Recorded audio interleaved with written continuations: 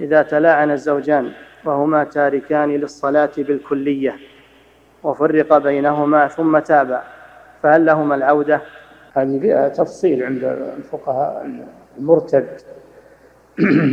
المرتد يفرق بينه وبين زوجته من حين الردة من حين الحكم الحكم بردته فرق بينهما فإن تاب في أثناء العدة